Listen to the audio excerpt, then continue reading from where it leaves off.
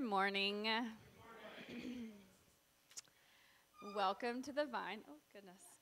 Uh, here at the Vine, we are a community of believers who are striving to be rooted in God, growing in Christ, and reaching the world. And we are so glad that you're worshiping with us today. Uh, if you are visiting with us this morning, we are especially glad that you are here. We have information um, about our church in the foyer.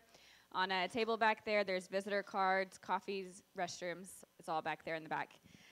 Um, for families with young kids, we are glad that you are joining us today also. We have a kids' table in the back that is pretty full right now with colors and stickers and crayons. Um, during during uh, Warren's sermon, the ages three years old through second grade will be able to go to children's church. Um, and then there is a, another little cry room in the back if you need that as well, with some little toys and things in there. Um, today I'll be reading excerpts from Psalm 4. Answer me when I call to you, my righteous God. Give me relief from my distress. Have mercy on me and hear my prayer. Many, Lord, are asking, Who will bring us prosperity? Let the light of your face shine on us. Fill my heart with joy when their grain and new wine abound. In peace I will lie down and sleep. For you alone, Lord, make me dwell in safety. Will you join us now in a time of silence and reflection as we prepare for our time of worship? And after this, we will pray the Lord's Prayer together.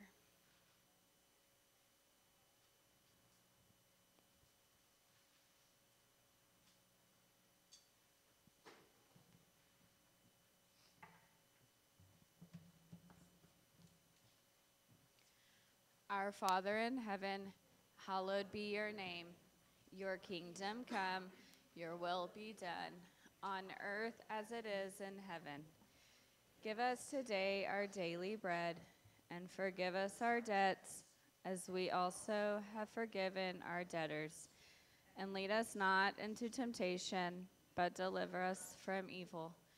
For yours is the kingdom, and the power, and the glory forever. Amen. Good morning. Thank you guys for being here with us today. If you would please stand, we're going to begin our time of praise.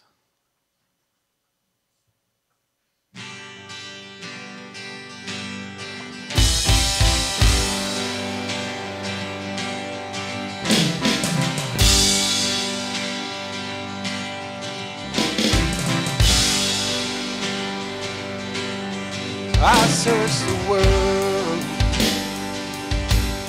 but it couldn't fill me. A man's empty praise and treasures that fade are never enough. Then you came along, and put me back together, and every desire is now satisfied here in your love.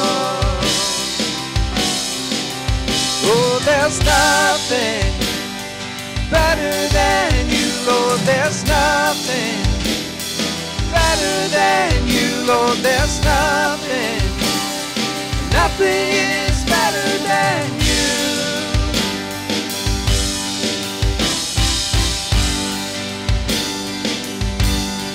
I'm not afraid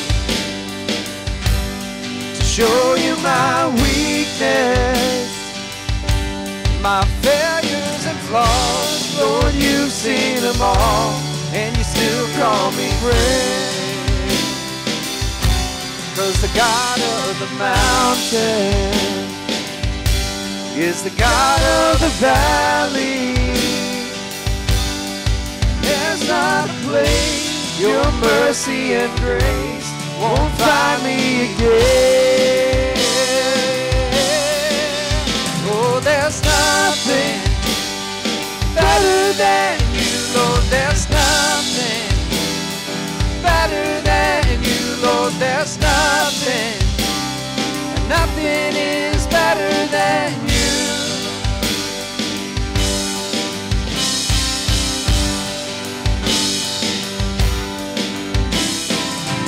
You turn mourning to dancing. You give beauty for ashes. You turn shame into glory. You're the only one who can. You turn grace into gardens. You turn bones into armies. You turn seas into highways. You're the only one turn mourning to dancing. You give beauty for ashes. You turn shame into glory. You're the only one who can. You turn graves into gardens. You turn bones into armies. Turn seas into highways. You're the only one who can. You're the only one who can. Oh, there's nothing better than you, Lord. There's nothing better than you, Lord. There's nothing, nothing is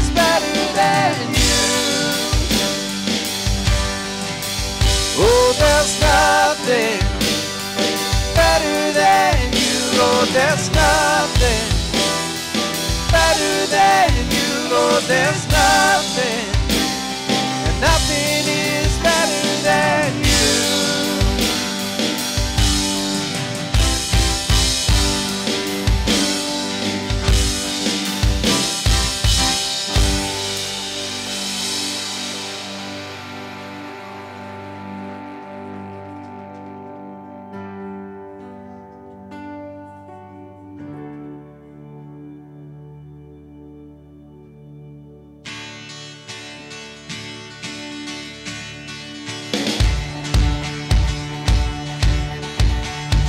I was buried beneath my shame.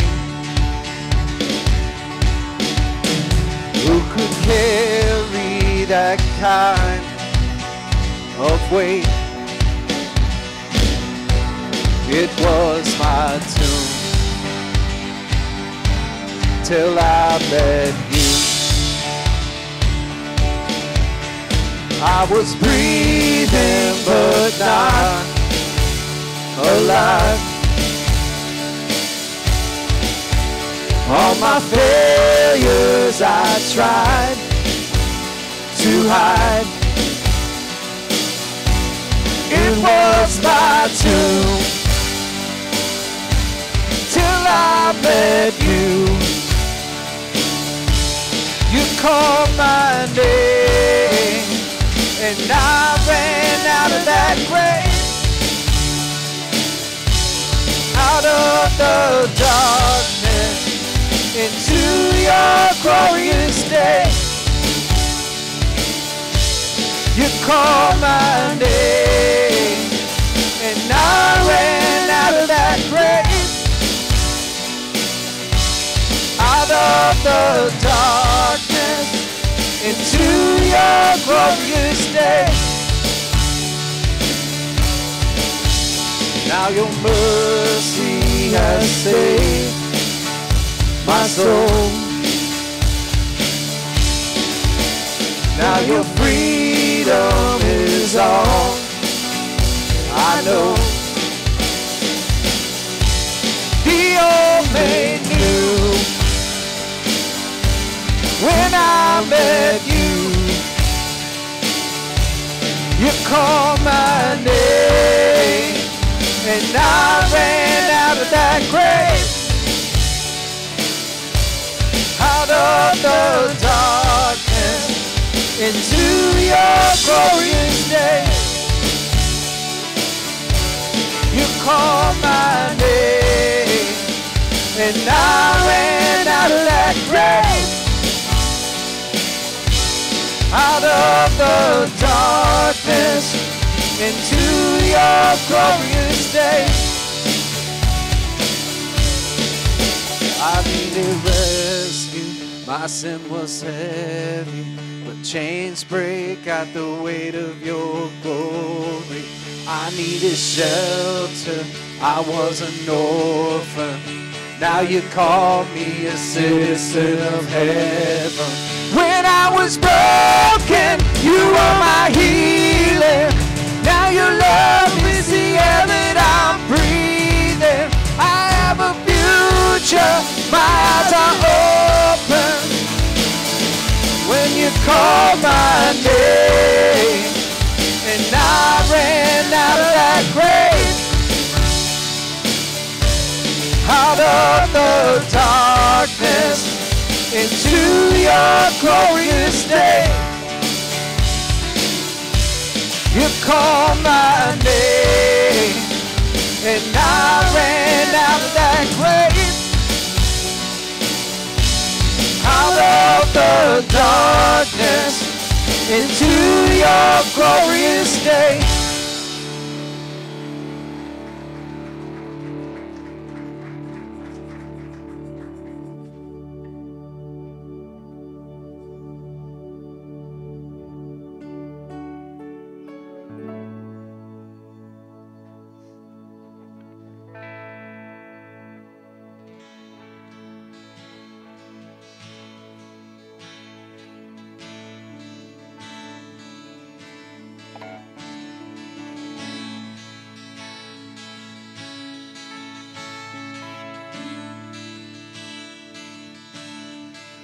Christ is my firm foundation,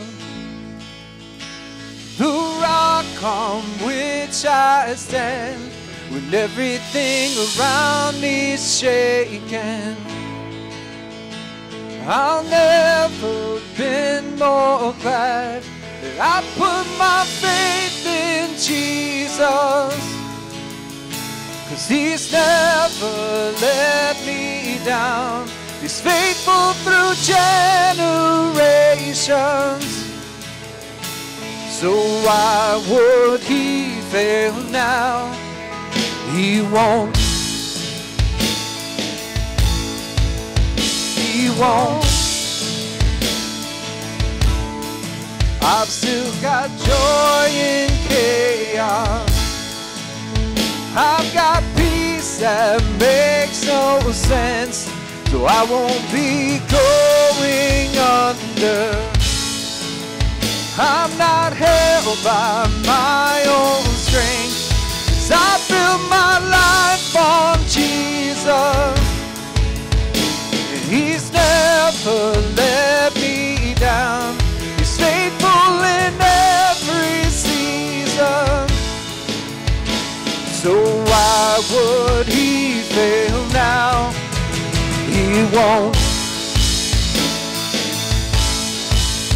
He won't. He won't fail. He won't fail. He won't. He won't. He won't fail.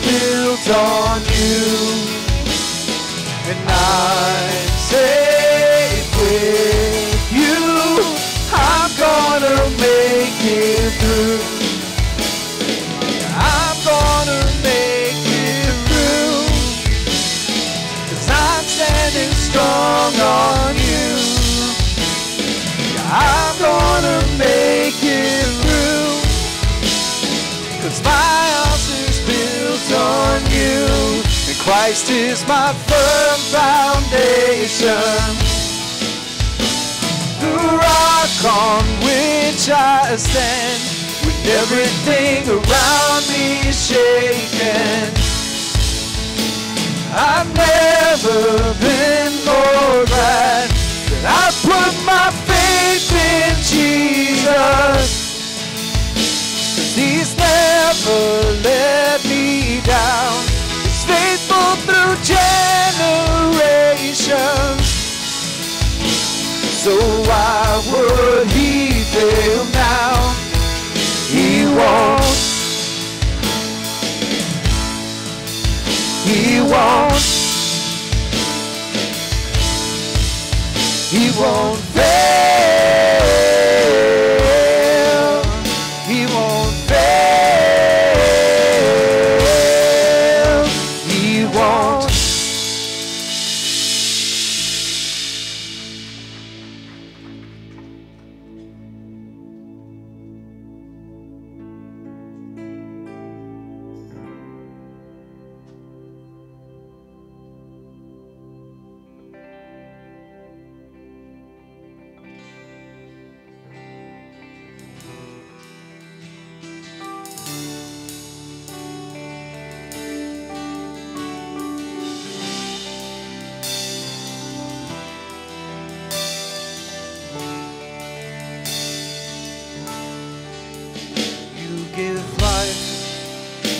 Life,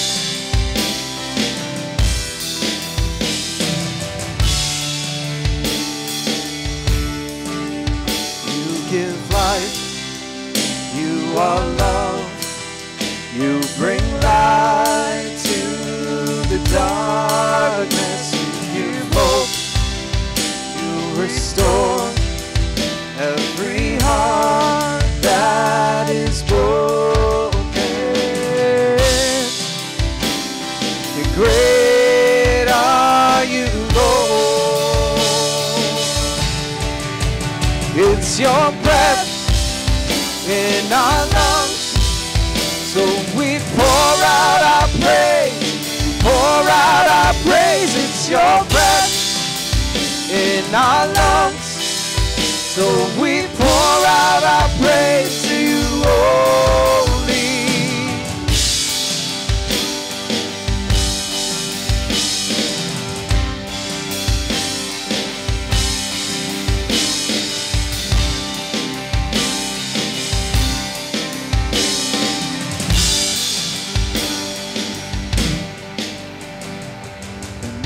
all the earth will shout your praise. Our hearts will cry, these bones will sing. Great are you, Lord. And all the earth will shout your praise. Our hearts will cry, these bones will sing. Great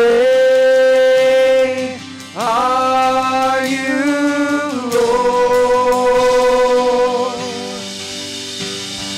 And all the earth will shout your praise. Our hearts will cry, these bones will sing. Great are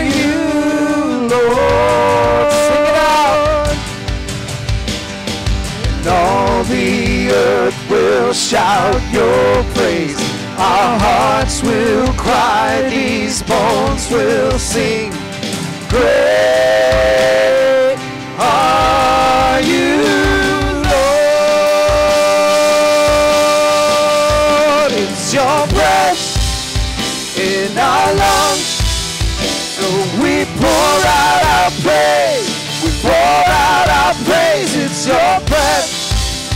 in our lungs.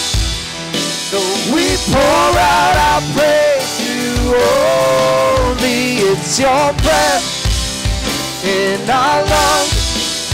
So we pour out our praise. We pour out our praise. It's your breath in our lungs.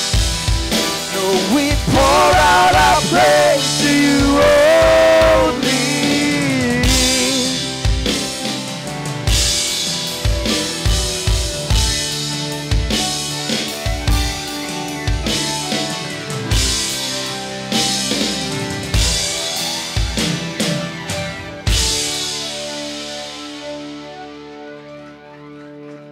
Please be seated.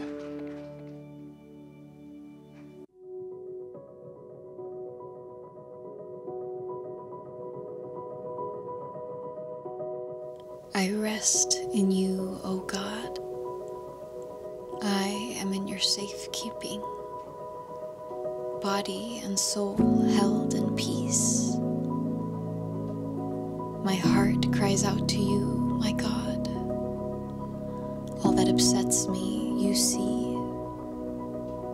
All that disturbs me, you understand.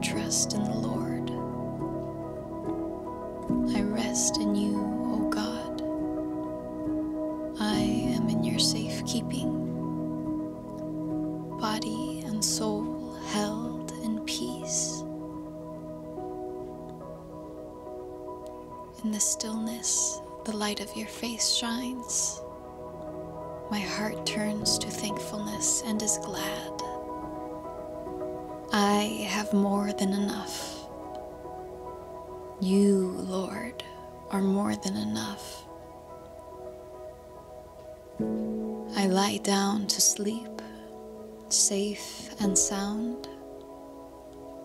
I rest in you, O God. I am in your safekeeping, body and soul held in peace.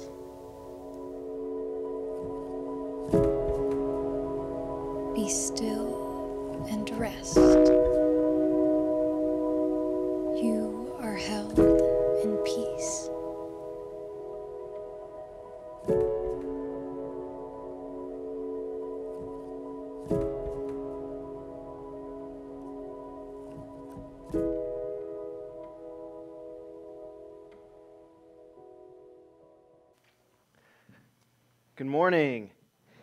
Good to see everybody today. I know some of you started school this past week, so you may be watching that video thinking, I can't be held in peace right now. there is no peace. So hopefully uh, today brings a bit of peace and rest for you, and you can take some encouragement in, in being here this morning. Uh, we're going to go ahead and dismiss our kids for Children's Church. So they're going to head out to the other building that's three years old through second grade. They're going to go and have a grand time over there. We, we have uh, been taking a break from our classes over the summer, and so those will start back up. We're planning to start those back up in September, where we'll have classes again after our worship service on Sunday mornings. But for today and next week, just as a reminder, we're going to have some ministry meetings the next couple of Sundays. And so this morning after worship, Uh, we'll have a meeting for our audio-visual ministry crew, whatever, uh, that we, we are going to meet in here. We'll just gather at the back of the auditorium back here after worship. And then the other meeting is going to be about youth and our kids and youth ministries in the other building in the fellowship hall. And so if you are interested in being involved in either of those ministries, if you have, certainly if you have kids, uh, then you'll want to be a part of that meeting probably. Uh, or if you want to be involved, if you have kids who want to be involved in the AV ministry, they can come over here and, and hang out with us. We've got teens who, who help out with that, and uh, it's a good place for teens to plug in because they get all the technology stuff, and it's very easy to teach our teens how to do it. So, um, and so if, if there's anywhere you want to plug in, or if you've got questions about those ministries, ideas, whatever, we hope you'll stick around and be a part of those conversations today. Uh, let me pray for us, and then we'll get into to our lesson. God, thank you for this time. Thank you for this place. Thank you for these people. Thank you for your word, God, and for the diversity of stories that we find in your word. God, as we look at one of those stories today, uh, I pray that you open our hearts, our minds to what you might have for each of us in this story. God, thank you for your love for us, and thank you for the capacity that we have to love others. And help us to do that well. We pray these things in Jesus' name. Amen. So, we are going to return to our series that we've been going through on 1 Samuel today. We took a break last week for Back to School Sunday, and so we're back in it this week. And there, there are several reasons I wanted to do this series, but one of the reasons is 1 Samuel has just many, I think, riveting and meaningful stories in it, but it also has some stories in it that are pretty unique to Scripture that we don't really find anywhere else within the canon of Scripture. And so today's story is, is one of those unique stories, I think. And it's a story that's not necessarily, you know, with David and Goliath, we had the long narrative that we went through. This is a story that's kind of told in bits and pieces over the course of 1 Samuel. So we're going to kind of jump around to some different spots uh, this morning. But first, there's a couple of things I want to do uh, by way of kind of introduction and setup before we get to, to all that this morning. First, as, as, I'm sure that many or maybe all of you know, we at the Vine, we're an open and affirming church. And so I think every once in a while it's probably good just to kind of say, what does that mean? Because I know that's kind of a churchy language. If you're not familiar with kind of church lingo and language, you may not even kind of know what those words mean or that sort of designation means. And so, broadly, what it means is that there are no barriers to membership or involvement based on gender, gender identity, race, sexual orientation, socioeconomic status, political affiliation, or any other designation that you might could throw out there that tends to divide us up into us and them. Uh, like those people can't belong. Uh, we try not to have those barriers, is basically what that means. Functionally, functionally, then, what that primarily means for how we look different from kind of many other churches is that there are no limits for women or women's involvement or places in leadership and we are fully inclusive of the LGBTQ community.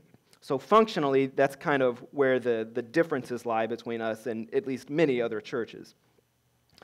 And so, I, I mention that in part, like I said, it's probably just good to, to reiterate every once in a while for new folks, but also because when we were going through sort of our discernment process about whether we were going to you know, openly say that we were inclusive, inclusive of LGBTQ individuals, as you might imagine, there were a lot of scriptural arguments that we heard to not do that uh, and to state something else instead. And so, of course, there are what are commonly referred to as the clobber passages, and so we went through all those with many people. But then another common argument that at least I heard from many people at that time was something along the lines of, well, even if you can sort of interpret or understand those scriptures in a different way, we still don't have any examples of same sex couples in the canon of Scripture. This was something that people would say to me. You, you can't point to any marriage or relationship between two individuals of the same gender in Scripture. And at the time, it was a point that I at least sort of conceded to them. It wasn't convincing to me that that means that we shouldn't, you know, accept those or whatever. But it was a point, I was like, okay, you've got a point. Uh, I now don't think it's as clear. And so the story that we're going to look at today is one of the stories, and I think probably the most convincing story of where there might not be, you might not can say that fully or truthfully, that there are no same sex relationships um, in Scripture. And so, again, such a statement, I think, needs to acknowledge the possibility of one relationship that we just so happen to find in 1 Samuel, and that is the relationship between David and Jonathan. So there are other relationships and other individuals that some people will point to as possibilities. I, I, happen to think that we probably too narrowly think about what eunuchs mean and refer to in the canon of Scripture. I think it's entirely possible that eunuchs refer to a, a sexual minority of some sort that could maybe have much broader, again, sort of understandings than we typically think of it. But if you're looking for a story of a romantic or sexual relationship between two individuals of the same gender, I personally think that your best option is David and Jonathan. And so, after today, if someone tells you there aren't any same sex relationships in Scripture, you can say, Well, what about David and Jonathan? And they'll either have no idea what you're talking about, or they will immediately have a long response to it because they've heard that argument before. It'll be one of those two options. Um, but you can try it out and see what happens. Uh, so, I wanted to explore their story today partly because of that. And this, this story, I originally, in my original sort of concept of this series, I was just going to have like one line about David and Jonathan in one of my sermons. And uh, then that turned into a whole sermon. So, this is why I don't always get to all the material that I have planned for series because sometimes one line becomes a whole sermon. and so it may feel like we don't necessarily cover, cover a lot of ground today, but I think this is, at least to me, an interesting enough and perhaps relevant enough topic to, to really kind of dig into and spend some time on. So that's what we're going to do. And we haven't really talked any about Jonathan yet in this series, but he has shown up in several places over the course of the book so far. And so if you were just reading through 1 Samuel, you would have already been introduced to Jonathan, even though we haven't talked about him much here. There are some very interesting stories, in fact, about Jonathan already. Uh, for instance, there's one story in which his dad almost has to kill him because he ate some honey. Like, that's an actual story that's in there. You can go read it later. But Jonathan got hungry, ate some honey, and then, for reasons that I won't get into because it'd be too long of a story, his dad almost had to kill him. Uh, we have actually met Jonathan's dad, who just so happens to be Saul, or the embattled King Saul that we've talked about several times. And so, as Saul's son, from a worldly sort of perspective, David and Jonathan should be the fiercest of rivals. Because, again, John, uh, Saul is the first of Israel's kings. And if you're going kind of by the worldly way that, you know, whoever is going to follow Saul as king goes, it should be Jonathan. By worldly standards, Jonathan should be next in line for king of Israel. But David is the God anointed heir to the throne. And so, again, from a worldly perspective, Jonathan should be very resentful and bitter towards David. And these two guys should be rivals. But they are anything but. They are quite fond of each other, as we're going to see. Uh, it's not hard, again, to imagine that their relationship could be filled with tension and conflict, but that's not what we find at all. The way that David and Jonathan's relationship is described, is described is very unique to anything else we see in Scripture. There are other cases where two individuals of the same gender show or express love toward each other, but in those situations, they are always related, either by birth or marriage. And while David and Jonathan do end up being related by marriage later, which we'll get to in a little bit, their relationship starts well before that. And specifically, we first read about them together in 1 Samuel 18. So that's where we're going to pick up. If you want to follow along, you can turn with us or click over or whatever to 1 Samuel 18. It's going to be on the screen as well. And let me just say before we get into this I do not think we have enough information in this story to know the exact nature of their relationship. But I almost think that the ambiguity there is sort of helpful and, and I think beautiful in a way. And so I'll, I'll come back to that again later, but I just want to say that from the beginning. My, my, um, my task or my goal today is not to convince you that they were in a romantic or sexual relationship. It's just for us to sort of explore their story and then kind of find what, what it might be saying to us or what we might can take from it individually. So just wanted to state that at the beginning here. Uh, so 1 Samuel 18. So right before this, 17 ends with the David and Goliath story, and then this is right after the David and Goliath narrative, we find this. It says, After David had finished talking with Saul, Jonathan became one in spirit with David, and he loved him as himself.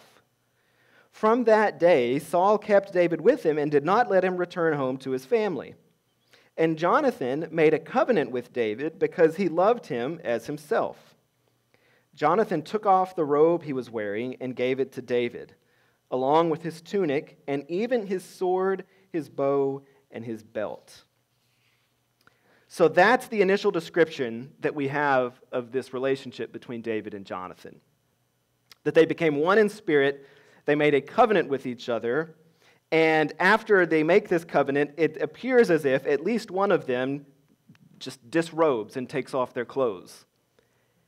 And so, of course, some people will say that David and Jonathan are just really good friends, which is, again, is entirely possible. Um, it's possible that we just don't value friendship, you know, deep and meaningful friendship enough between two individuals of the same gender. That's entirely possible. But, as Maverick's laughter just let you know, this feels like a lot for a friendship, right? uh, I mean, I think we can just acknowledge that. And again, maybe that's entirely cultural. Maybe we just miss something about affection between friends who are not romantically involved. But it does feel like a lot. Uh, again, if you're just talking about friends. And so, we then learn uh, that, again, so Jonathan doesn't see David as a threat at all, obviously. The dude just gave him his sword. Uh, but so he doesn't see him as a threat at all. But Saul, his dad, certainly does. And so what happens after this is Saul begins sending David out on basically military campaigns. And David starts going out on these campaigns in which he is very successful. And so there begins to be this refrain then that the women of Israel would sing when David came back from battle. And it would go like this I'm not going to sing it. That would have been great if I just broke out into song. But uh, I don't know the tune. Uh, it said, Saul has slain his thousands, and David his tens of thousands. So again, this is an ancient book. Uh, Saul basically gets mad that, or uh, sort of jealous that David is more successful in war crimes than he is. I mean, that's essentially what we're talking about here. So I get that we have some issues from a modern perspective with just a lot of what happens in 1 Samuel, including this. Uh, but this makes Saul just, just furious. And so this is where Saul's mission begins to kill David. And it's a years long pursuit that basically takes place the rest of Saul's life. He's just obsessed with killing David most of the time. He kind of waffles back and forth, but it goes on. And so he initially tried to get Jonathan and his men to kill David, but of course, as you could likely guess by now, Jonathan's not going to do it. He says, Nope, I'm not doing that. And he even convinces his dad to stop trying to kill him until Saul gets angry again. And so then he tries again. He, this time, he gets another group of men to go to his house to try to kill him. But this is where the family drama and political intrigue just continues to grow. Because it just so happens that Jonathan had a sister who was also in love with David. Deep emotional connections to David in Saul's family, one way or another. He either hated him or loved him, it seemed. So uh, Michal, Saul's daughter, is in love with David, and so Saul has this idea. He's like, I know how to keep David close, basically, you know, keep your friends close and enemies closer. He's like, I'll give Michal to David in marriage. And so typically, if you were going to marry the king's daughter, like that was something only a wealthy person could do because you would basically have to pay the king in order to have the right to marry his daughter. But David, or excuse me, Saul is like, nope, I don't need any money for this one. He's, here's what he says, again, because he just wants to keep David close. And so he says, I kid you not, if you bring me a hundred Philistines' foreskins, you can marry my daughter. So David's like, all right, cool. There's, there's a lot of emphasis on male genitalia in 1 Samuel. Just, uh, I should have said at the beginning, this is a PG 13 sermon. Sorry that I didn't give that, that at the beginning. Uh, so David's like, all right, cool, I could do that. He goes out, kills 200 Philistines, brings back 200 foreskins, and like double the amount. So, all right, cool. Uh, so he gets to marry Michal. Well, then it just so happens uh, that Michal warns David about this impending plot to kill him, and so David gets out of it then as well. And uh, another quick side note David does end up marrying several women, but you can make the case, I think, that just about all of his marriages are really for political or power dynamic reasons. Even his most famous relationship with Bathsheba is basically an imbalance of power uh, and influence. And so every relationship that he has with women seems to be tied to power or political sort of expediency in some way. We are actually never told that David loves Michal. We're told repeatedly that he loved Jonathan, but never Michal. Uh, we are instead only told that David was pleased to become the king's son in law. That's it. Again, so politics. This is all politics for David. So, back to killing Saul, I mean, killing David. Uh, the first time Saul's son, who loved David, stopped Saul. This time, Saul's daughter, who loved David, finds out, warns David. And so now that David knows this information, again, he goes back to Jonathan and is like, dude, your dad's trying to kill me. What's up? I haven't done anything to the guy. And Jonathan's like, no, not trying to kill you. He told me he would stop, and my dad doesn't do anything without telling me. So they kind of go back and forth for a little while until they decide, okay, we're going to devise this test to see if Saul wants to kill David. So they kind of uh, set up this whole ruse in order to kind of see uh, who is right. And of course, as they're plotting their scheme, they reaffirm their oath to each other and their love for each other. And as part of the ruse that the two of them set up, one in which Jonathan was in attendance at this dinner, this banquet, but David was noticeably absent, Saul gets so mad at Jonathan that he throws his spear at Jonathan in an effort to kill Jonathan. So now he's mad at both of them and tries to kill them both. And so at that point, Jonathan's like, okay, now I see it. This is serious. I think he wants David dead. uh, officially, it says, after he had the spear thrown at him, then Jonathan knew that his father intended to kill David. But I like to imagine that he kind of has this moment of clarity and says something similar to what Keegan Michael Key says at the end of this Key and Peele sketch. Something like this. Now I see it. Now I see it. uh, that whole sketch is fun. If you haven't seen it, I'll tell you which one it is later. But, um, but he has this kind of moment of clarity where he's like, ah, I, I, I get it. I see it. So he runs back out then. He meets back up with David. Uh, Jonathan now has this newfound information. He runs to meet David in a field where David has been hiding and waiting. And so this is very like Hallmark movie esque or something where they're now running towards each other in this field. Uh, they, and here's what we're told about that meeting then. It says David got up from the south side of the stone and bowed down before Jonathan three times with his face to the ground. Then they kissed each other and wept together but David wept the most. Jonathan said to David, Go in peace, for we have sworn friendship with each other in the name of the Lord, saying, The Lord is witness between you and me, and between your descendants and my descendants forever. Then, then David left, and Jonathan went back to the town. Now, that functionally pretty much ends their relationship, at least in terms of what we are told of their story. They're separate for pretty much the rest of their lives. And so it's a very tragic story in many ways. Again, regardless of what the nature of their relationship is friendship, romantic, or whatever it, it ends here in sort of a very tragic way, where they now have to be separate because Jonathan's dad's trying to kill David. And even there in, in that text, I think we see another issue that, you know, occasionally I'll talk about sort of issues that translations kind of present to us in ways that they can kind of impact how we read things. Because there's actually no word for friendship in the text. So the NIV says we've sworn friendship to each other. But literally, it just says something like, we have sworn with each other. The, the friendship is added in as sort of an interpretation about, well, these two must be friends, so we're going to add in they've sworn friendship to each other. But literally, it just says something like, go in peace in what we have sworn.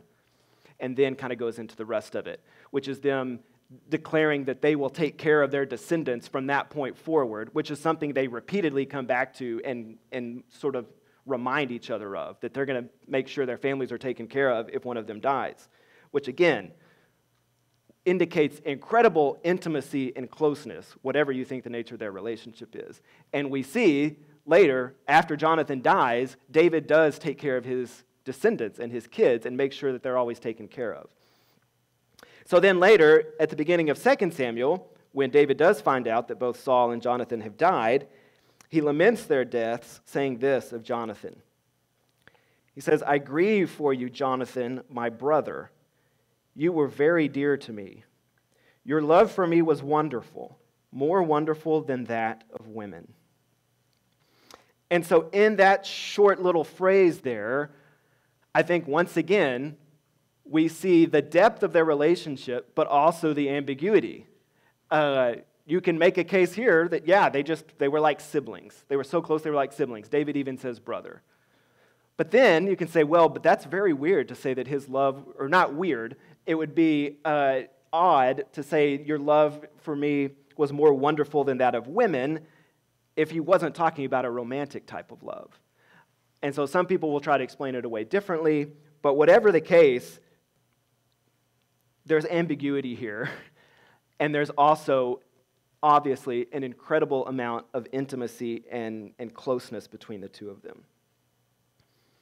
And so, the admittedly scant information that we have about David and Jonathan's relationship has led to, of course, many questions about the nature of their relationship. Were they involved romantically? And if so, what does that say about David? Uh, while they would not have used the terminology that we use in a modern sense, it may make us wonder from a modern perspective. So, does this mean that David was gay? Was he bisexual? Uh, or would such a rendering be reading too much into a strong bond between two men? Is it simply sexualizing a friendship that was so strong that they became one in spirit? Are the elements of the story that lead us to see them as romantically involved simply cultural in nature? And so, again, in the end, I don't think that we have enough information to definitively describe their relationship, nor do we know anything about their desires or their motivations for their relationship. However, I do think we can say this. I think that if Disney made an animated kids movie about David and Jonathan's story, it would 100% get protested by certain people. um, and so I even, I've, in fact, I sort of, I don't remember what I Googled to find this, but there was a puppet show that someone tried to do about their relationship for kids in Minnesota, somewhere in Minnesota, I think, and a group found out about it uh, and got him to cancel the puppet show at Kansas. It was in Kansas, that's where it was, because um, they were trying to do a puppet show about David and Jonathan's story. And if you just tell David and Jonathan's story without any other context behind it, it seems like they are pretty romantically involved.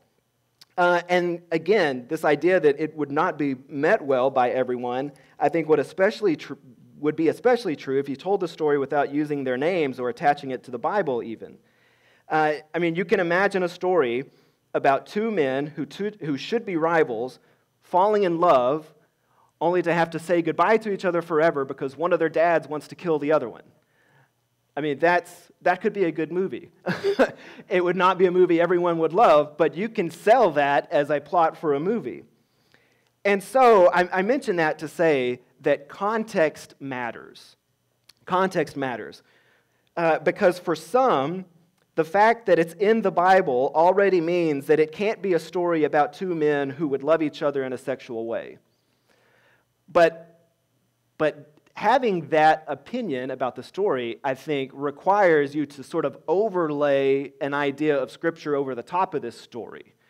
Uh, most of the arguments that I hear against David and Jonathan being romantically involved usually sort of is based around this idea that, well, the rest of Scripture is clear about homosexuality and same sex relationships, and so it can't be that. Again, I don't agree with that assessment of the rest of Scripture, but that's the argument. Uh, but you have to kind of have that way of seeing Scripture and then overlay that on top of this in order to sort of definitively say that they are not. Uh, so, for some, like I said, since it's in the Bible, it already means, well, they can't be. For others, the unique nature of the story adds richness to the Bible. And the fact that their story is unique within the context of Scripture doesn't demand that it be read in a certain way. It can beautifully and simply be unique. But, like I said, ultimately, I don't think we have nearly enough information to make any type of definitive declaration about the nature of their relationship. But I think the fact that it's ambiguous is actually helpful and, and beautiful in some ways, as I mentioned earlier.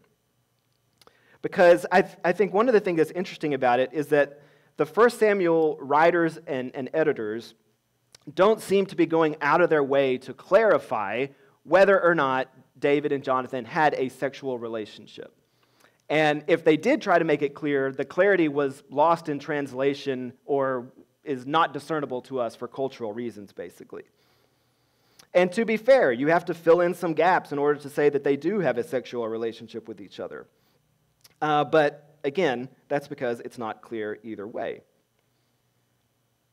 But it is telling to me that you seemingly can't arrive at really either option from what we have.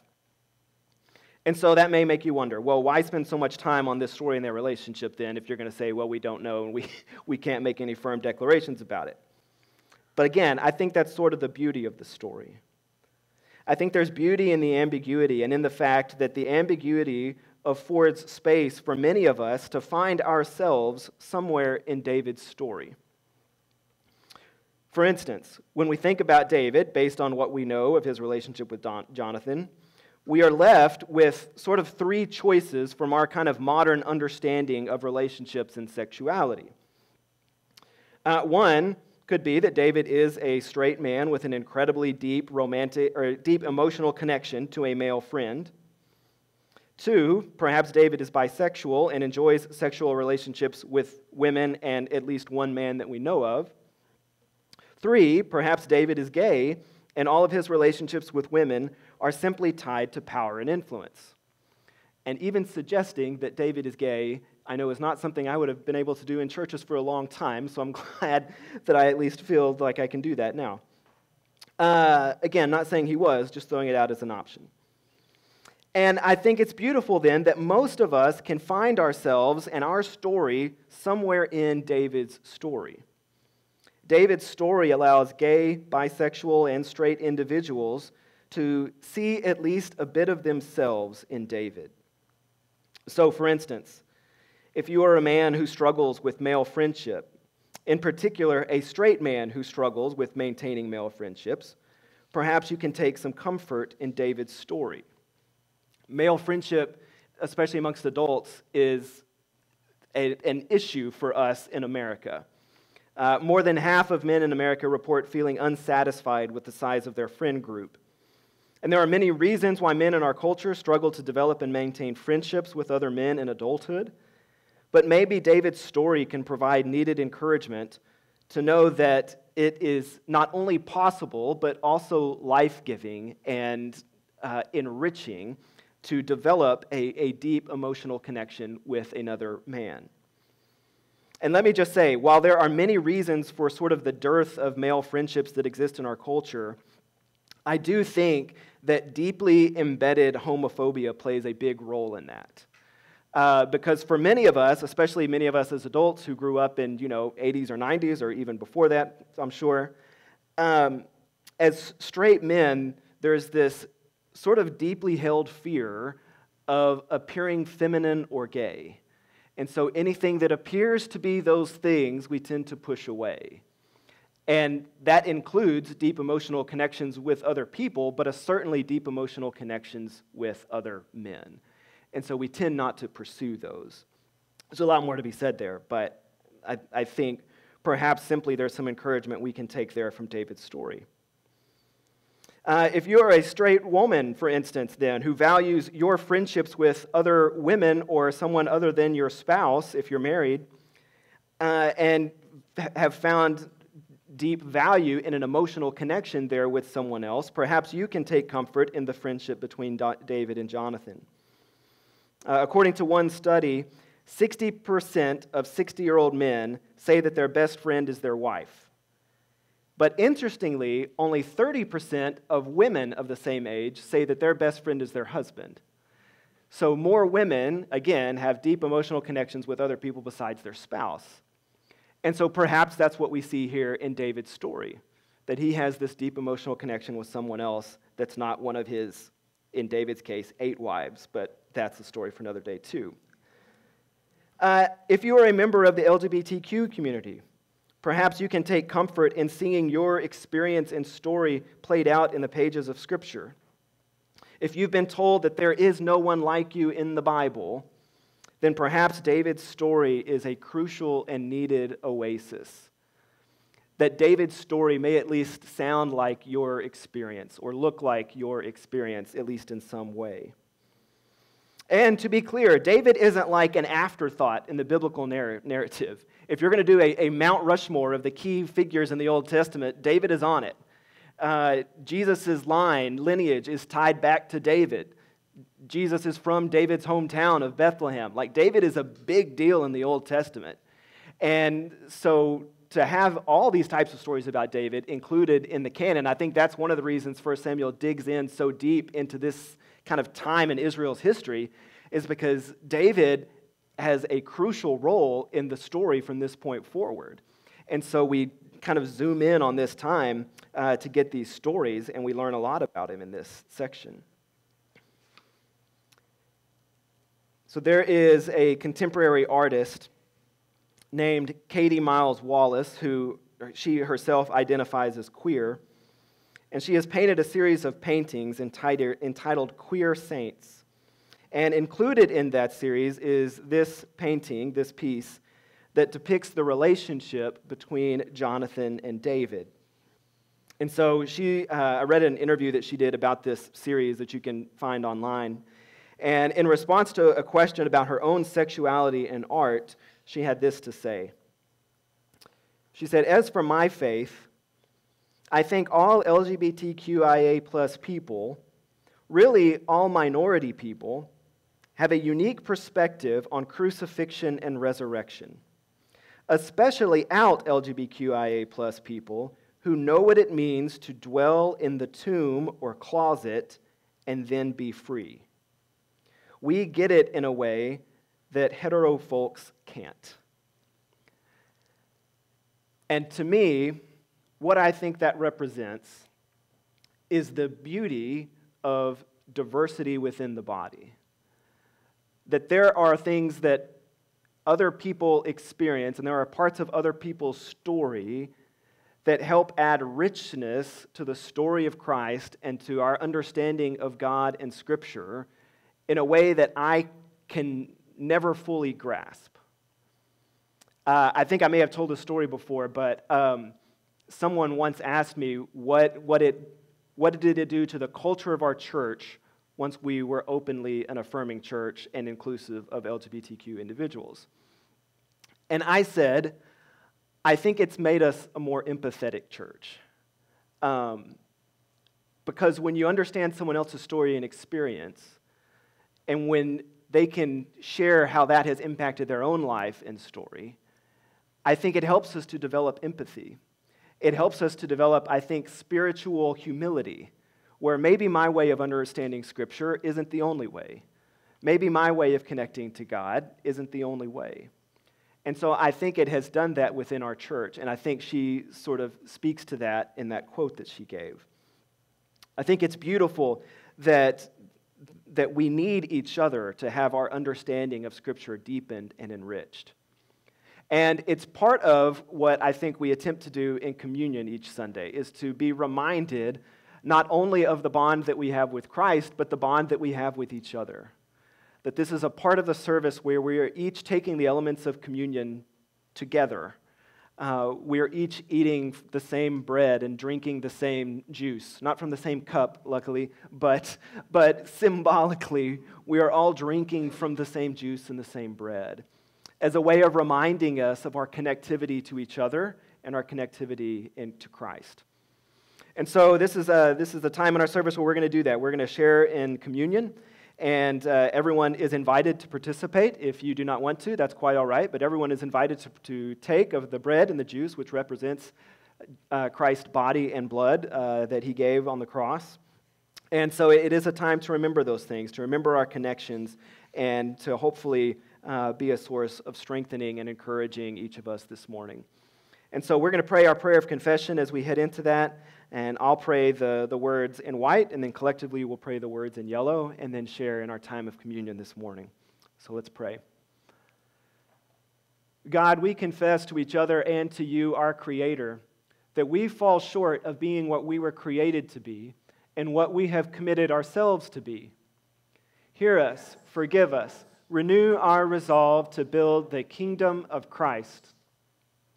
We often seek out the easiest paths, paths of least involvement in places where we might be uncomfortable, or paths of self centeredness.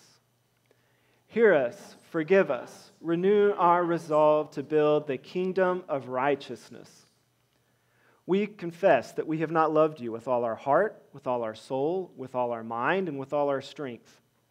Bring us out of darkness, Lord, and into the light of your love.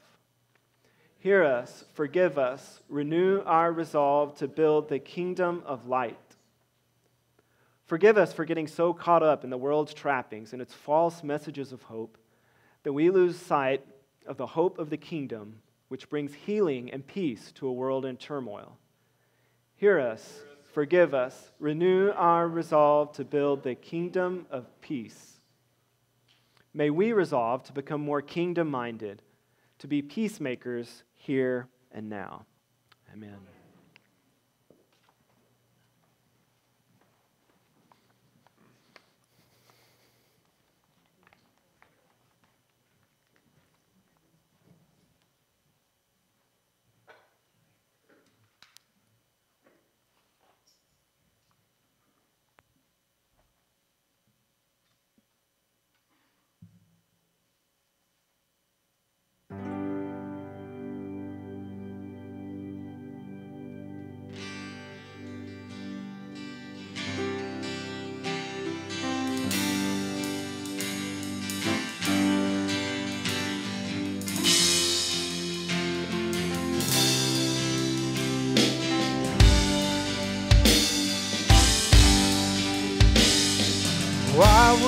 Worry when giants come calling my name? My God is so much bigger than troubles I face. Why would I hunger for power or riches or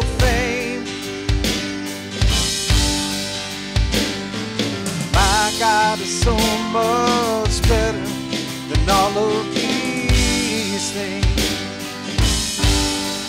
I won't be shaken. Oh, I won't be moved. My God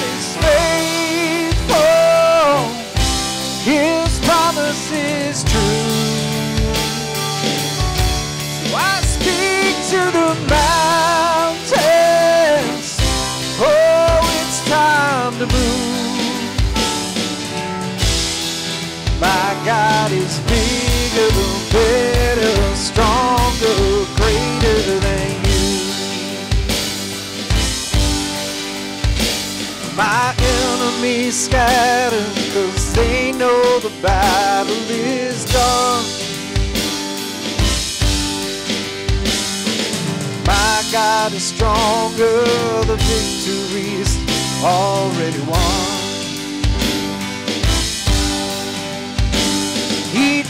For my ransom and rose up on the third day. My God is greater than death, hell, and the grave. I won't be shaken. Oh, I won't be moved. My God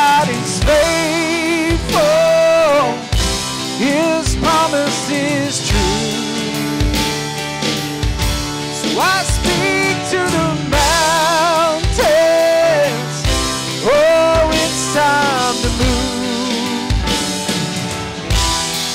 My God is bigger, better, stronger, greater than you.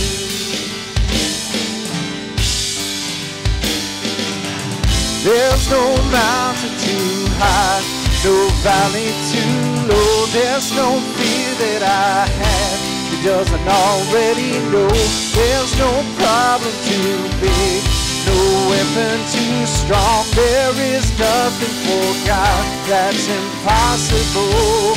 There's no mountain too high, no valley too low. There's no fear that I have doesn't already know there's no problem too big, no weapon too strong. There is nothing for God that's impossible. I won't be shaken. Oh, I won't be moved. My God is faithful.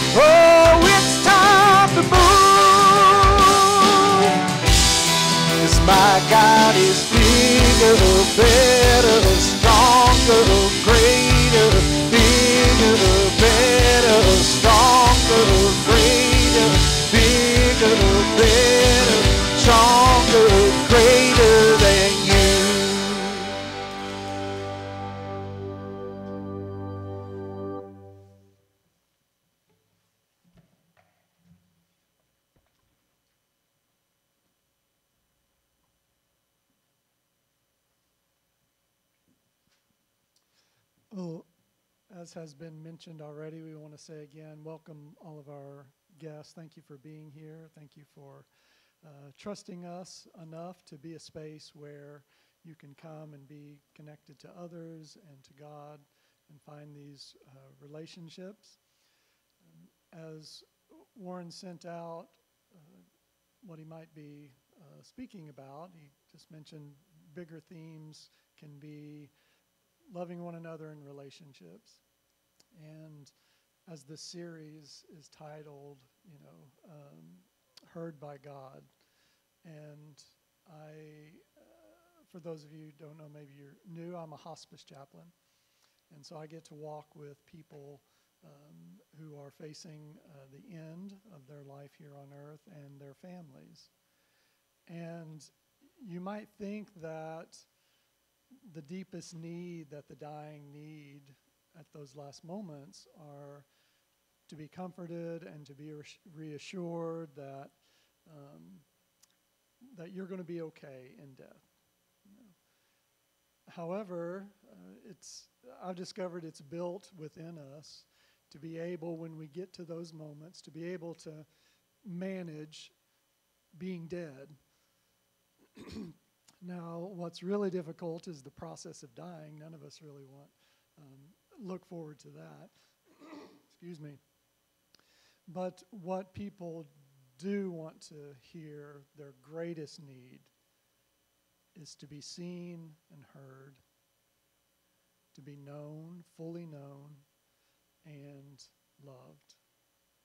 And I, I just think that goes really well with uh, Warren's uh, message today. Is we all just genuinely want to be known and heard and loved. And certainly, as is a big story among us, the LGBTQ community, uh, being heard and known and seen and loved. But as I've been in uh, Houston as a chaplain and here in uh, Central Texas as a chaplain, uh, that goes for uh, Muslims, especially after 9 11. Um, it goes for uh, some of you, maybe back in the day, uh, the, the Japanese here in this country after World War II. Um, there are just communities of people that need to be seen and loved and known for who they are and not what they are perceived to be. And so, as we think about what this sermon might call us to do, let it call us to go out and to be a safe space for people, to hold space for people, to be themselves, uh, to be heard and seen and known and loved. Uh, Before I close this in prayer, I just wanted to remind everybody once again that our, our ministry meetings are going to be right after uh, worship today. Uh, the AV is going to meet back here in the back, and then children's ministry is going to meet uh, over in the other building in the uh, fellowship space. So let's pray. God, thank you for this morning and for this message. A message of being willing to uh, be a space for people, to be themselves, to be known, and to be heard by you and by us. So, God, as we go out, may we be, may we hold that space for people to be themselves and to know that they are loved for who they truly are. So, God, may you just pour through us the gift of your spirit of love, that we may embrace people and that they may feel embraced by you through our touch and through our loving arms. In the name of the one who walked this earth and experienced all things human, despair, marginalization, and yes, love. We pray, Jesus Christ, our Lord.